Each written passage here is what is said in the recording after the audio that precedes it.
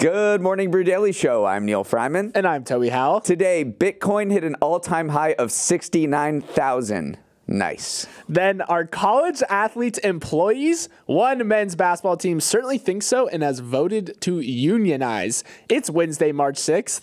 Let's ride.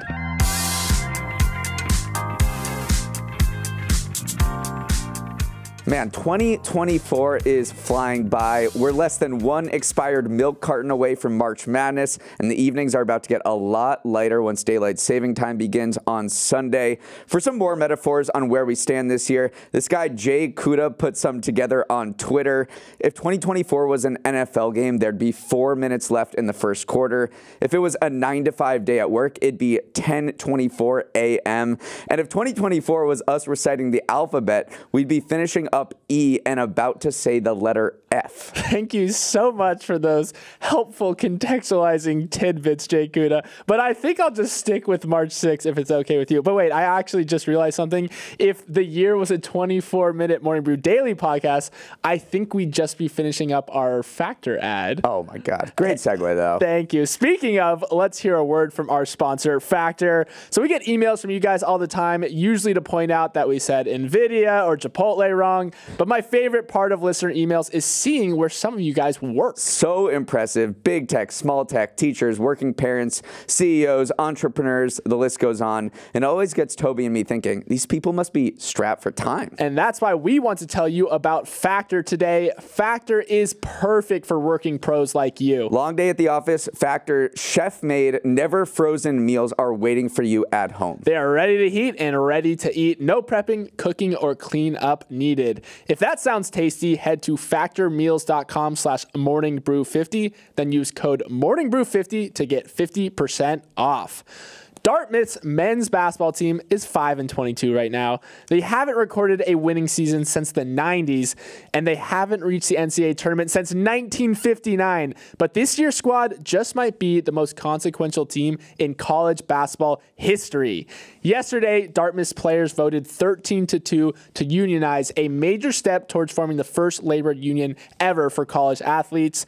The key question players were voting on was the issue of whether college athletes should be considered employees, and if so, have the right under federal law to collectively bargain about things like pay or benefits. It would be a massive shakeup for the already very shaken up NCAA system, which only recently allowed their players to profit off their name, image, and likeness. So, yes, Dartmouth's men's basketball team may have the longest active March Madness drought in the NCAA right now, but they're suddenly the most relevant team in basketball. They really are. This is a huge deal.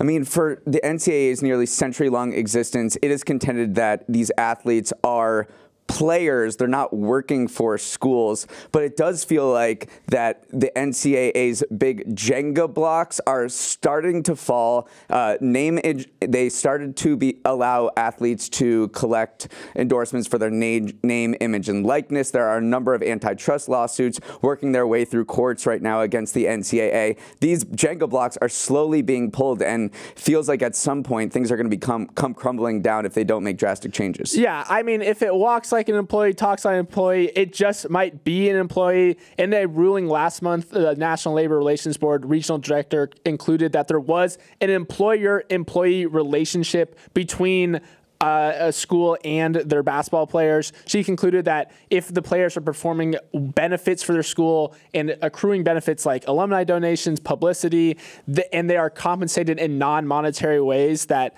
and Dartmouth also controls a lot, ha- exercises a lot of control over the way that they they work and play. Then that is what constitutes an employer-employee relationship, which is why the NLRB has kind of thrown their weight and said like, yes Dartmouth, you can go ahead and, and conduct this vote, and we are behind you. Dartmouth, uh, the school, is very opposed to this decision. They, in a statement after the union the unionization vote, they say that the men's basketball team is not in any way employed by Dartmouth. Academics are of primary importance, and athletic pursuit is part of the educational experience. They are expected to fight this tooth and nail, which means that any collective bargaining agreement or any finalization of this union is not expected for months, probably even years. So by the time this bas men's basketball team actually becomes a certified union, all the players on it will probably be working on Wall Street. Yeah, absolutely. Or maybe, you never know, a nice upcoming media company like Morning Brew.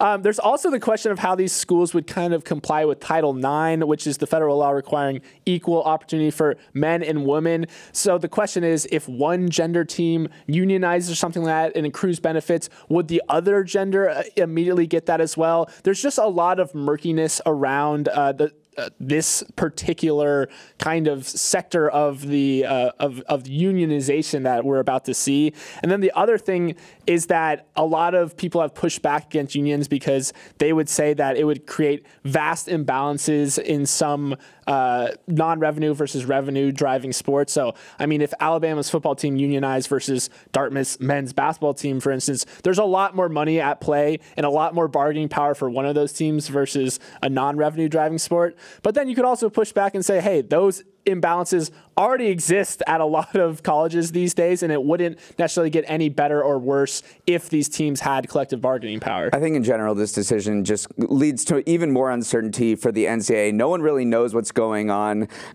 There's a bigger, probably a bigger uh, case go winding through California right now, and a judge has to determine whether USC basketball and football players are employees under that state's law, and that is more important because USC is a public school, so that would govern a lot more schools rather than Dartmouth, which is a private school. But I'm going to put you on the spot, Toby. You were a D1 athlete. Did you consider yourself an employee? I, I don't think so. And I, I don't think I would have necessarily voted to unionize either, just because the amount of time you have in college and the amount of games you have is so finite that doing things like striking or something like that, I don't think a lot of players would actually want that because most 99% of players are not going pro. This is your last time to play like high level competitive sports. So if you someone came together and say we got, we're going to strike for the next four games, I'd be against that. You you want to cherish your time on the field, so you put me on the spot. I don't think I would be before this. Okay, well, it is fascinating nonetheless.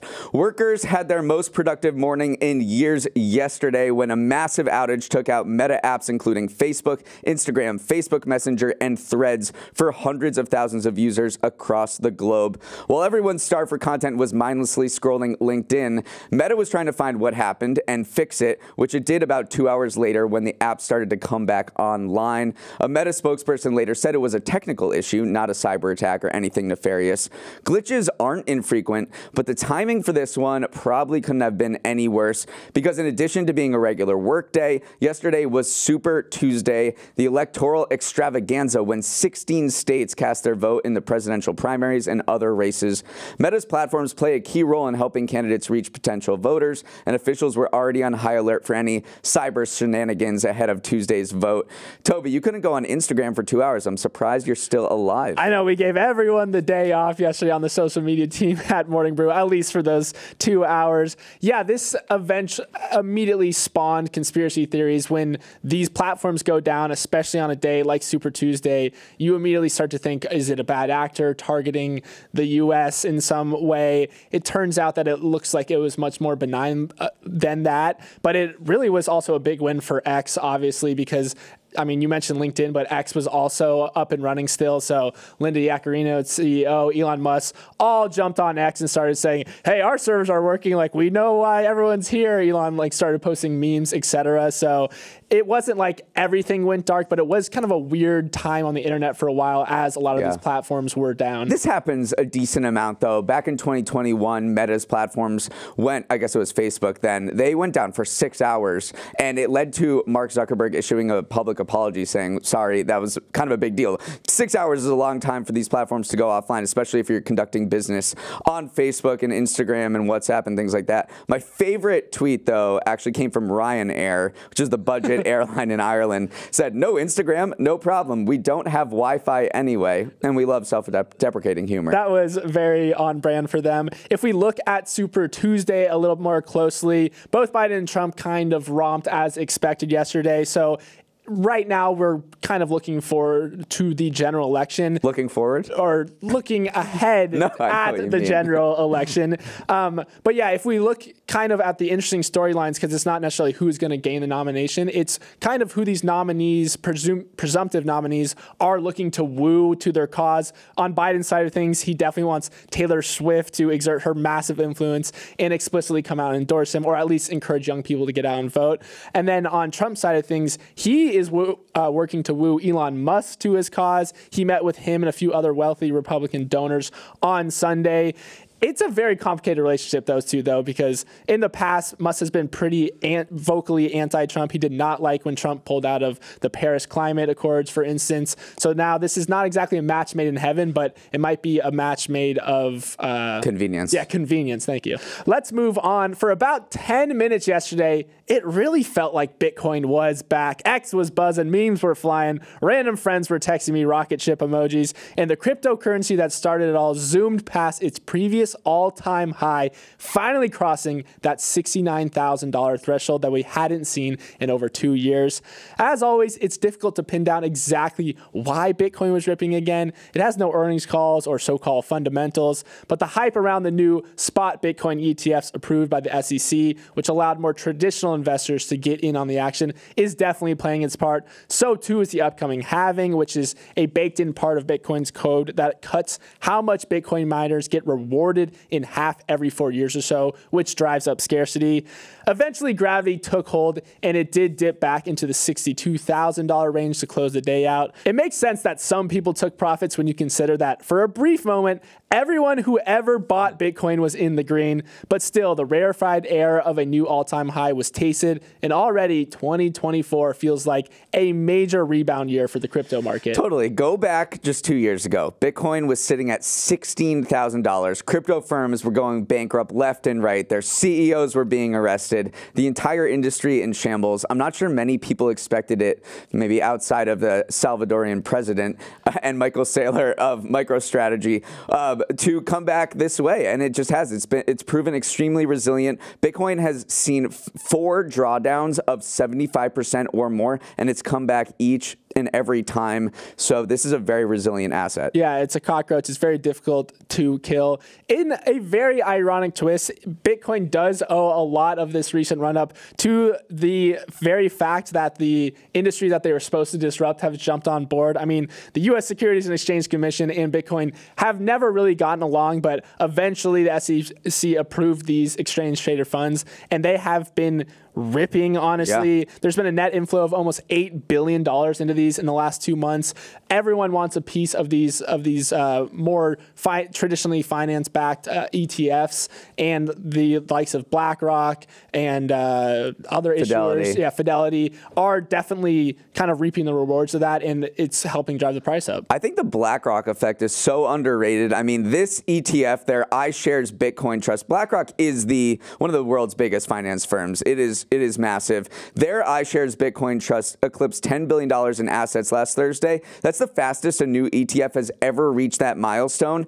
And it's also just one of 4% of all US ETFs that have more than $10 billion in assets. So it's a pretty big ETF, and BlackRock is reaping the rewards of this ETF hype around Bitcoin. Also, in another semi ironic twist of fate, gold hit an all time high yesterday, and that we usually do have an answer for. It's the geopolitical and financial risks that are kind of propping up the, uh, the, the recent financial rally of gold. It's usually the same sort of mixture of uncertainty about also the Fed rate hikes. Is, is the stock market going to overheat? And so you want to kind of pile into the safer asset of gold. But it is interesting to see digital gold, aka Bitcoin, who a lot of people have said that it could be a better long-term store of value than like the precious metal, but then also the precious metal itself hitting all-time highs on the same day. It is poetic and a little ironic at the same time.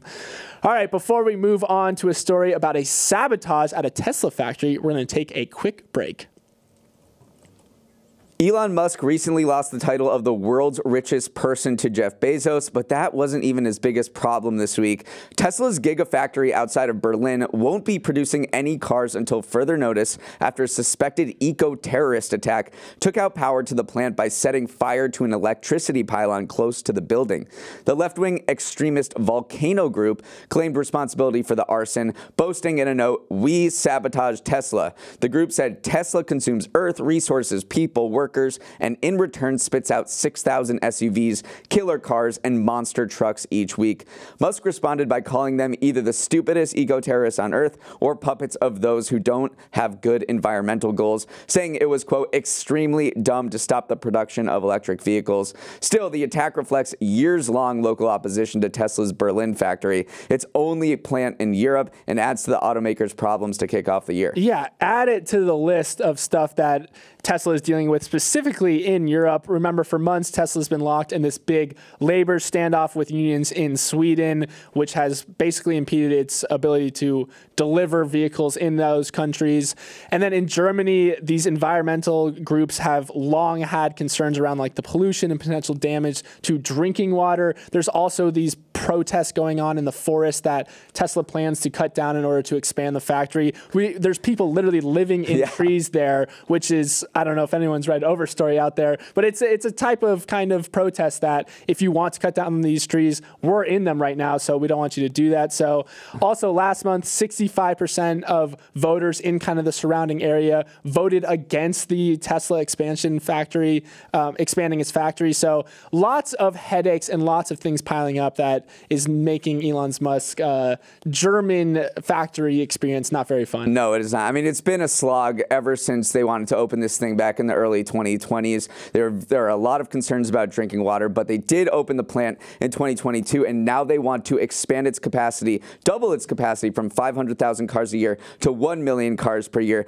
That's going to require them to chop down some of the forest nearby. So, as you mentioned, there are people building tree houses. There are about 100 activists living in the forest next to the Tesla factory to prevent it from expanding. We'll see what happens there. But if Tesla does manage to expand this factory to 1 million cars per day, that is huge. That's one of the biggest factories on the continent because Volkswagen's Wolf, Wolfsburg plant, which is considered to, I mean, it's, it's been there forever. This is its, its crown jewel. That produces 800,000 cars per year. So if Tesla's able to ramp up to 1 million, that's a huge question. Still, that is a massive, massive plant in Germany. Yeah, and I do just want to highlight before we move on just how big we, we keep calling it a headache or something like that, but this is a massive disruption. It's going to cost the automaker an estimated $100 million um, just from the shutdown alone. So it is a brutal, brutal loss. And I just want to know how is their electrical grid so fragile that a single kind of electric pylon can take down the whole grid? Someone's got to get out there and start rerouting some stuff. You can go ahead and reset the Taylor Swift mention calendar to zero for the second time today because I need to explain why some fans have bad blood with her latest decision regarding the Eras Tour. Taylor has taken her talents to East Asia, but she's not spreading her talents very far. In fact, all six of her shows are being held in Singapore, the wealthiest nation in the region. This has rubbed a lot of fans and leaders from neighboring countries the wrong way. When word came out that Singapore had paid Swift somewhere in the two to three million dollar a night range to stay put, a lawmaker in the Philippines fired back saying that's, quote, not what good neighbors do.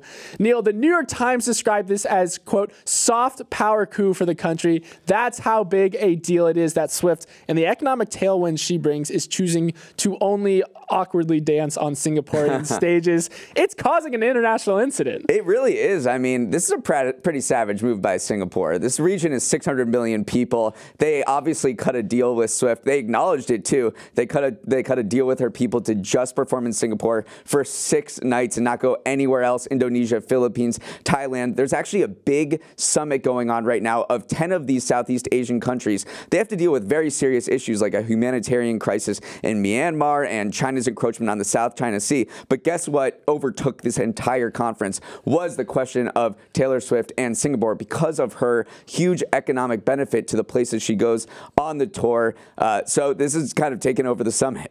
No, analysts were kind of, who cover the region were saying that it is nice to take a break from the more serious things to talk about Taylor Swift, but it is a very serious economic thing. I mean, if we go back to uh, look at her Australian leg of her tour, which she just left, there was a study that showed a nearly $100 million uplift in consumer spending. She sold more than 570,000 tickets across seven nights in Sydney and Melbourne. So when we say economic tailwinds, I mean, we've talked about it a lot on this podcast already, but that is spreading internationally as well. So if you are some of the other nations in that massively populated region, of course you're mad that she's only staying in Singapore. The responses from the other leaders have actually been pretty funny because I think they're mad, but they also have publicly admitted, like, ah, I wish I thought of that idea. Right. So the Prime Minister of Thailand was like, well, you know, we're taking notes. I, uh, you know, Singapore also said if we didn't do it, then other countries would, and all the other countries said, yeah, we probably would have done that. And the other funny thing is, Singapore uh, one official was being very defensive, saying,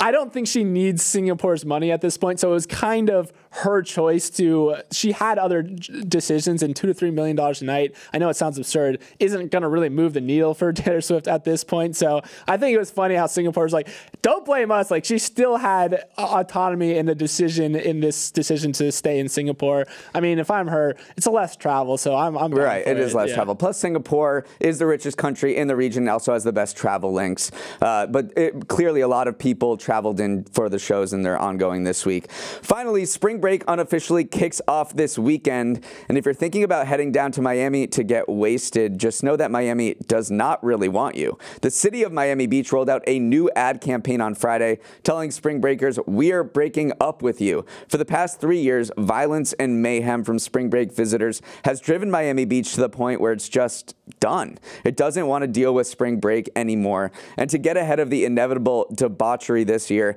Miami Beach said visitors will face a number of strict measures trying to keep them in line, like curfews, bag searches, early beach closures, DUI checkpoints, a huge spike in parking fees, and an increased police presence. It doesn't sound like a lot of fun, to be honest, but those are the drastic steps Miami Beach feels like it needs to take to keep the situation from descending into chaos as it has been since COVID started. Yeah, the big question here is how business owners are going to kind of react to this breaking up with spring break campaign because now, considering they might lose money during one of the busiest times of years, but a lot of businesses ended up usually suffering anyways because if there's kind of these violent mass of people outside of your doors, you you're forced to close anyway. And also the people who are primarily causing these incidents probably aren't spending money at those businesses anyway. So that's always kind of the fine line you have to walk is you want to bring people, you want to bring tourists to your neck of the woods, but you also want them to behave responsibly and be respectful of the businesses that they're patronizing. There is some controversy to these policies. Uh, civil rights advocates are saying that uh, leaders are only cracking down because many of the visitors are black, and that is many of the people who have been going to this particular stretch of Miami of Miami Beach, South Beach, Ocean Drive uh, over the past few decades. The leaders have responded, "That's not true. I just have a moral obligation to protect citizens and keep things safe." There have been two people were killed in shootings last year, so this is this is getting out of hand. Uh, but there also is some pushback saying you wouldn't do this if it was mostly white people. Yeah, there also is precedent to this, though. If we go to another place in Florida, Panama City Beach, where kind of violence came to a head there back in 2015. There was this house party shooting that left uh, several people dead and wounded. That city subsequently banned alcohol on the beach, cracked down on unpermitted events. A lot of the same playbook that we're seeing Miami Beach execute right now. So this isn't out of the blue. And again, it's such a it is a difficult relationship these cities have with these spring breakers. You just want them to not tear the city apart, essentially. You want them to come bring their business, but not overindulge. I think Miami is fine with doing this because Miami is doing great. Right. I mean, people are going all over the course of the year. They're not relying on this few weekends in March for a lot of uh, tourism. Uh, Miami is just booming in general, and the whole metro area is kind of growing. So I think they're okay with kind of tamping down the shenanigans on spring break specifically because this their uh, economy is booming and tourism is just spread across the year. We have to wrap it up there. Have a wonderful Wednesday, everyone as always, don't hesitate to share your thoughts on the show or just say hi to our email address, morningbrewdaily at morningbrew.com. And you can sign off. Cheers. I'm rescinding my ban. Let's roll the credits. Emily Milliron is our ex- executive producer. Raymond Liu is our producer. Uchenna Ogu is our technical director. Billy Menino is on audio. Hair and makeup is on spring break. Devin Emery is our chief content officer, and our show is a production of Morning Brew. Great show today, Neal. Let's run it back tomorrow.